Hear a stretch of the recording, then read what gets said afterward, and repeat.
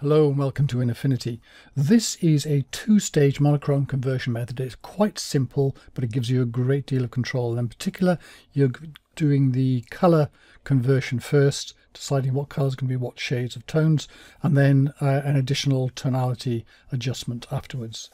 So start off, adjustments, black and white, and then literally the principle here is just to go down here and tweak and see what happens.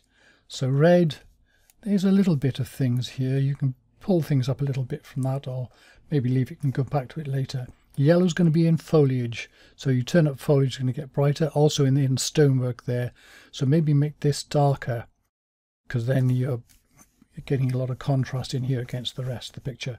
Green is going to be often the highlights within the tree, so it's often good to turn down the yellow but then turn up the green to get a bit of highlight in that.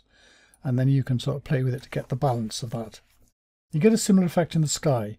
So the cyan is going to be the broad sky. In this, by the way, watch out if you turn it all the way down, look if there's any banding in here, it'll highlight it because it's very short steps within this, particularly if you've got an 8-bit image. And if there are any blobs in the sky, uh, dust bunnies or whatever, there you can see those as well. So you're going to be careful about that. Maybe go in and do some extra editing. The blue is going to be more the upper sky. You can see there, that's, that's darkening out that down there a bit. So go as much as you can, but maybe later go in and edit that. Magenta, um, it often doesn't do very much. You can just try it. Sometimes it is important, particularly where there's more reds.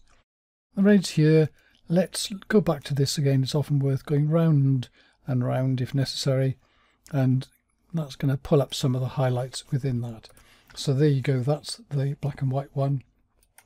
And then we're going to do the next one is going to do tonality. So you can either use something like the gradient map or you can use curves. So if I use curves here, I'm just putting that uh, above there. You can always be nested in whichever way you use it. And then I can put, you know, bring in S curves here or whatever and just play with this. Add additional points if needed if I want to bring some shape into this, but that if generally an S-curve will add to the contrast, which is largely what you'll tend to want to do with this here. You can also afterwards put another layer on top there and paint in some of the areas which are just going to be just annoying, like the little white bit there. That's a bit of a, a bugbear, so I'm going to click on that. Take a little bit of of black there, but at lower opacity. I've got 10%. Let's turn that up a little bit and just paint a little bit in on top of here just to hide that. Those just those little distractions you might want to do. Entirely up to you. It depends what bugs you and what doesn't. But anyway, that's it. And very simply, it's gone from before to after. And uh, I think gives you quite a reasonable amount of control. That's it, and thank you very much for watching.